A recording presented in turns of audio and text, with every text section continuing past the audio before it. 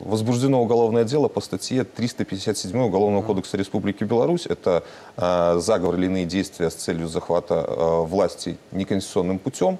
Э, подобных дел э, в истории суверенной Беларуси не было. Санкция части 1 статьи 357 Уголовного кодекса Республики Беларусь предусматривает наказание в виде лишения свободы на срок от 8 до 12 лет. В настоящее время продолжаются следственные действия. Э, Задержанные лица водворены в следственный изолятор КГБ. Э, Они сотрудничают со следствием, дают признательные показания. Э, Нами, в числе прочего, подготовлены запросы в компетентные учреждения юстиции иностранных государств об оказании нам правовой помощи при расследовании данного уголовного дела.